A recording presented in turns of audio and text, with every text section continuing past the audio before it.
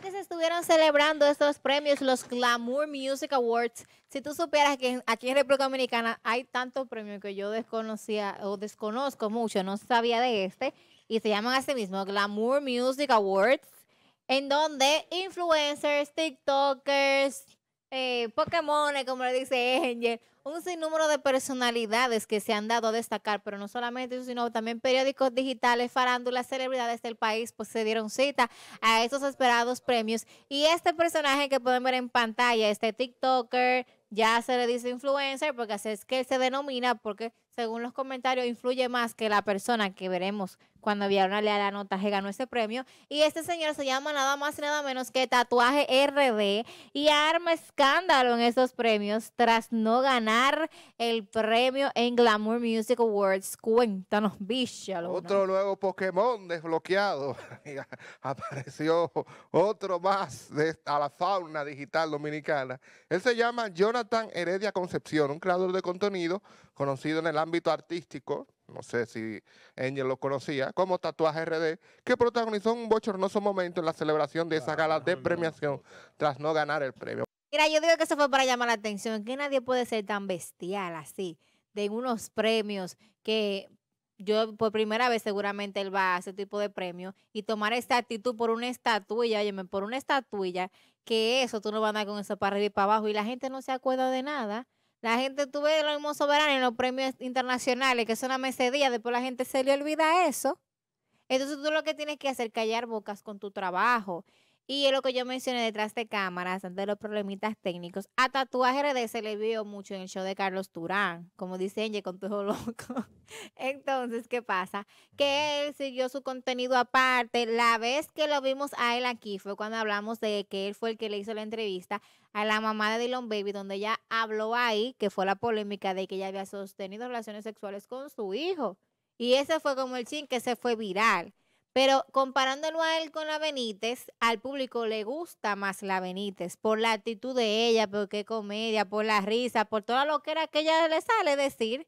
Y vive metida haciendo live en todo lo de darle tiquitica a la pantalla y con todo eso boricua. Entonces, para mí muy bien merecido y, querido tatuaje, acuérdate que en esos premios el público que vota, hacen una encuesta, mandan el link, vota por tu favorito y la gente votó por su favorito que la Benítez no te puede quillar y esa actitud de un hombre bestial hacia una dama también Mira esa actitud, tú tomas un micrófono, no, pero yo soy mejor que ella, pensé que... Pero Betty, mátate con los dueños de los premios entonces, no con ella. Ella en ningún momento, ni ella misma dijo que se sorprendió que lo dieron a ella.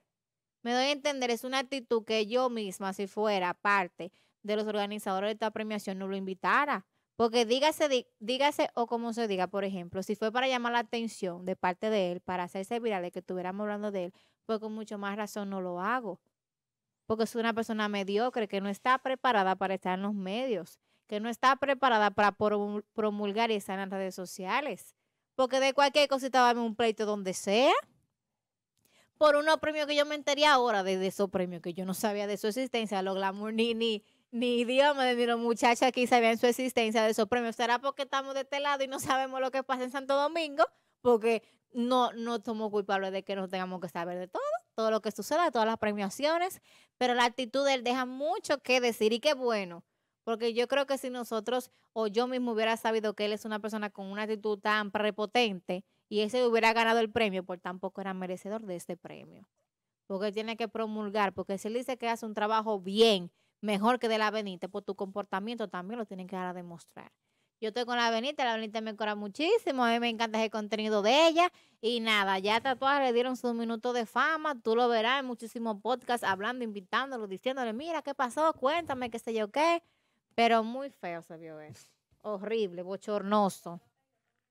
Sí, por esa estrategia como que no, a mí no me gusta eso. No, mira, este muchacho, no, y como yo. No, pues si acaso. Como yo voy a. No, yo no tengo que defender gente. No, nada más te digo. No, este muchacho. de neto ahí, Tatuaje.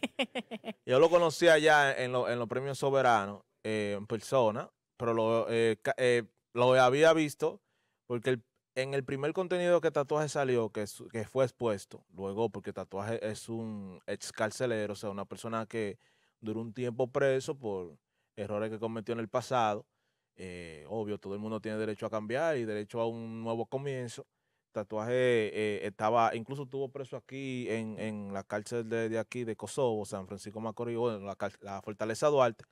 Y en la entrevista que él se hizo viral fue en una entrevista que Capricornio hace, entrevistando a excarceleros. En esos tiempos él tenía una serie donde él estaba entrevistando excarceleros. Ahí, ah, entonces en esa serie se hizo famoso eh, que Triple Bobo, ¿te acuerdas? Y el tatuaje, que fueron de los que más sobresalieron por las anécdotas vividas dentro de la cárcel, ¿me entiendes? Hace muchas anécdotas y eso. Entonces, luego de ahí, tatuaje aprovecha ese engagement, ese, esa popularidad que él, que él cogió a través de Capricornio y empieza a hacer un nuevo mundo, un nuevo comienzo en las redes sociales.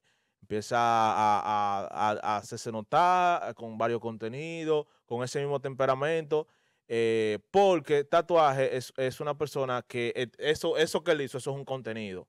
¿Entiendes? Es su forma de llamar la atención. Por eso digo que todo, todo, esto, todo esto es sonido. Él eh, luego tiene participación en el show de Carlos Durán. bueno, bueno, con el mismo Alofoque en TikTok también, en la batalla. Y el tipo se ha sabido buscar en esto de las redes sociales, en esta nueva oportunidad que tuvo, en este nuevo comienzo de vida, ¿verdad? Que está bien, porque por lo menos ya usted no está haciendo lo malo y se está enfocando y se está enfocando en las redes sociales. También el otro día él, estaba participando en, el programa de, Capricornio, los cavernícolas, que, que le rompieron la cabina y de todo. Él estaba ahí. Y ahora está en un programa con Mami Jordan. Entonces, tatuaje se ha convertido en una persona de la red, no influencia, porque aquí quieren llamarle a todo el mundo influencia, sino un personaje de las redes sociales que se ha que se ha estado destacando.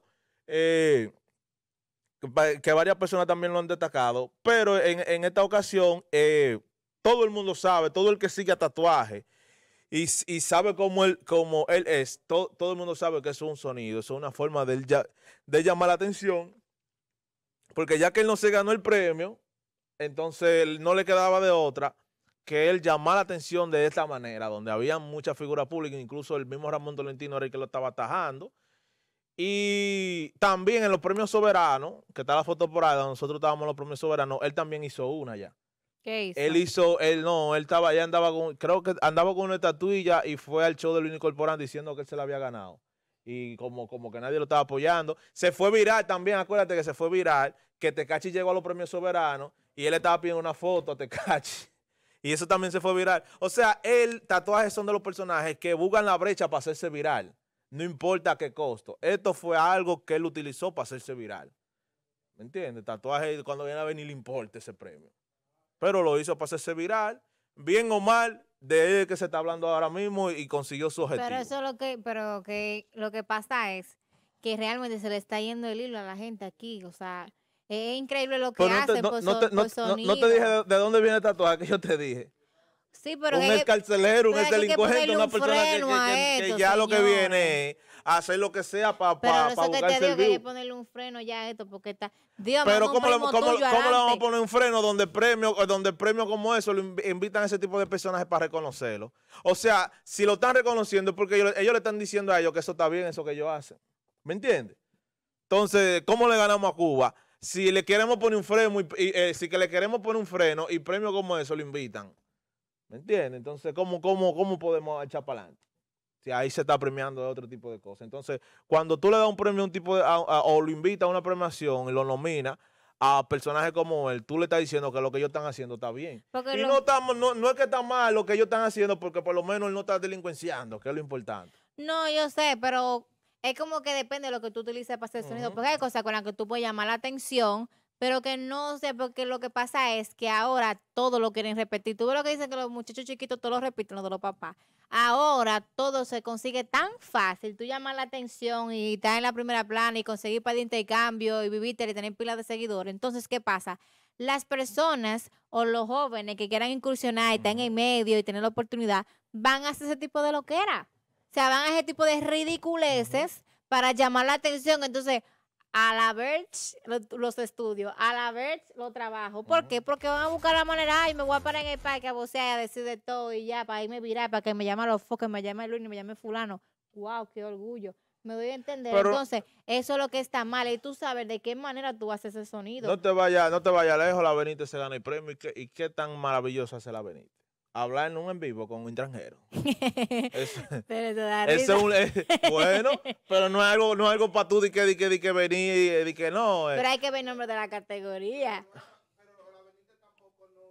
Eh, algo que, es para buscar polémica. No, está bien, pero lo que te digo, mira, mira los premios, mira el premio. Lo que, te digo es, mira el premio. sí, pero yo digo, por ejemplo, depende de la categoría. tú me dices categoría de entretenimiento en redes sociales. Influencer, la categoría era influencer. Era influencer. influencer. Ok, tienen que cambiar el nombre de la categoría. Por ejemplo, categoría de entretenimiento en redes sociales que te entretiene a ti, tú ves. Por decir, igual Benito, porque en los live, como ella se ríe, lo que le dice a la gente que invita en los live, Ok, porque Este país tiene que, revisarse, señores. En este país estamos haciendo famoso a todo el mundo. Ah. Este país tiene que, este, este, país tiene que revisarse. estamos llenando el país de gente famosa por todos lados. Ya no ha dado los famosos aquí. ¿Me entiendes? Incluso tan, tan cualquierizado el ser famoso que los mismos dueños de empresas son ellos mismos que están haciendo los anuncios. Un dueño de empresa, un dueño, por ejemplo, fulano celular, el mismo dueño de celular, él mismo se graba y hace el anuncio. Porque que ya se, le ha perdido el respeto a, eso, ya no, ¿me entiendes? Ya no hay un respeto, ya una figura, Camilo, una figura pública, déjame ver si da contacto para que me haga un anuncio. No, ya la vaina de influencia está tan cualquierizada que ellos mismos, los mismos empresarios, se hacen ellos mismos. No, pero no, antes de pasar ya al tema 2, y también lo que pasa es que muchas ciudades, en vez de utilizar talentos que son buenos de esa ciudad, buscan de otro lado. ¡Ay! El complejo Guacanagarí, también, tú lo sabes. ¿Y eso, Camila, para quién fue? No, no, en general. En general, para en que general, lo para que lo quiera coger. Hay talentos que yo he visto en pueblo, ¿verdad? Que no son wow. Y prefieren buscar gente, ya tú sabes, de todos los millones del mundo, una gente famosa U, que tal vez ayudar a esa persona que está local y que vaya creciendo chingachín no, y, que y no le gusta pagar. Y, que son, y, que, son famosos allá, pero. allá, eh, no, son famosos aquí, pero allá son normales. Y, nosotros, cuando vienen a ver, allá también tenemos una popularidad y aquí no nos quieren hacer caso. Eso pasa.